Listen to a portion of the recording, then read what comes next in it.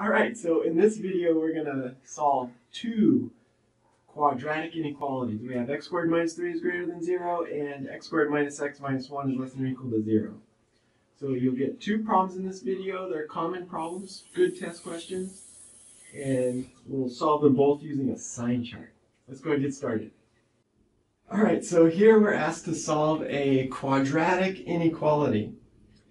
We have x squared minus 3 is greater than 0. Now to solve this, what we're going to do is use a sign chart. To use a, to use a sign chart, we're first going to need to find the uh, critical numbers. Now the critical numbers for these polynomial inequalities are just the roots.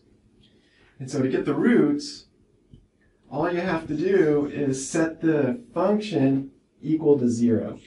So we'll go off to the side and we'll say x squared minus 3 equals 0.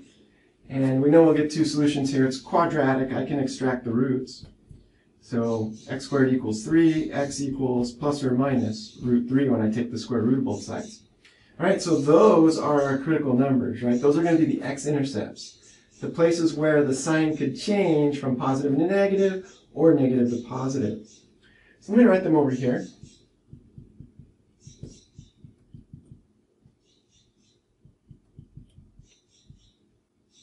Okay, so now that I have my critical numbers, I'm going to need to know where, where to put them on a number line.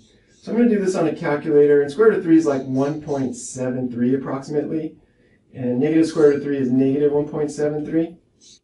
All right, so next we make a sign chart. Now a sign chart is just a number line. It's the x-axis with those critical numbers breaking it up into regions.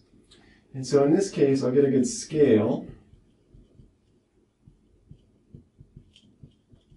And I'll put an open dot at negative 1.73.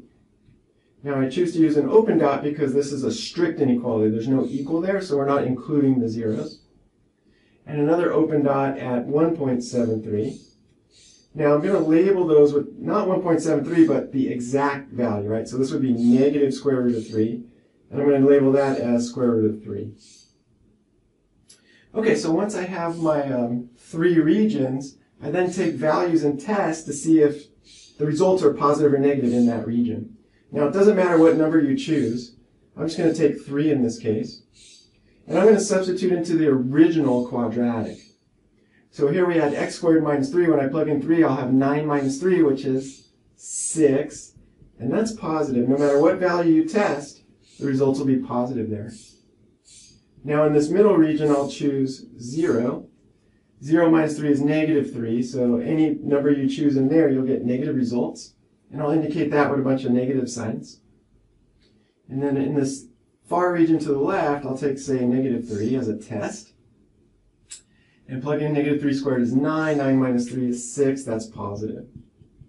All right, so this is the sign chart that we're going to use to answer the question. Okay, now in this case, the question is, when is this quadratic greater than zero? Greater than zero means positive or above the x-axis. So the y values are positive when I substitute in these x values. I'm using my sign chart here to see that. And then the y values are going to be positive when I substitute these x values as well. So we have these two intervals that actually solve the original quadratic inequality there. Okay, so these are all my solutions graphed on a number line. Now, we're going to want to present our answers in interval notation. So for this piece, we'd have negative infinity to negative square root of 3 with a parentheses, because we had the open dot. So that's non-inclusive. Union, square root of 3 to infinity. Right? So here's all of our infinite number of x values that'll solve this quadratic inequality. Okay, so this one was a quadratic inequality. We were able to find those critical values pretty easily. Let's do another one where maybe the critical values are a little harder to find. Okay, so here we have another quadratic inequality. x squared minus x minus 1 is less than or equal to 0. Now this one is going to be a little harder to find the, um, the critical numbers, which are just the roots. And that's where we need to start. So let's go off to the side and set this thing equal to 0 and see what we have.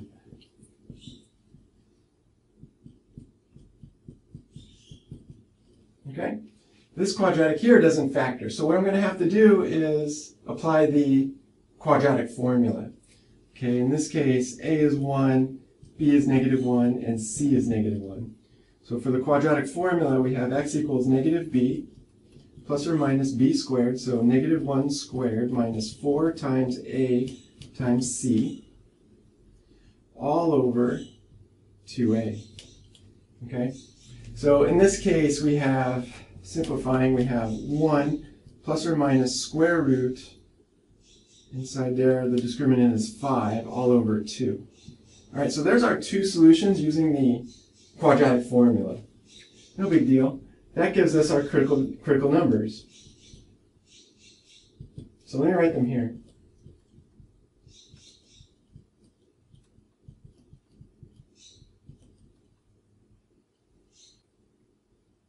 Okay, now the next step is to create a sign chart, which is basically the x-axis, it's a number line. Before I do that, I'm going to need to know like where to put these dots, right?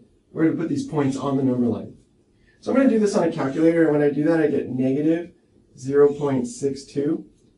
And when I do this one on a calculator, I get 1.62.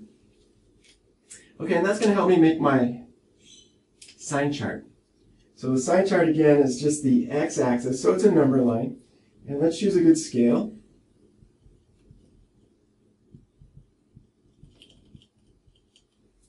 And in this case, what I'm going to do is use a closed dot because I'm asked to solve a quadratic inequality that's less than or equal to. That equal to is an inclusive inequality. So I'm going to include the zeros.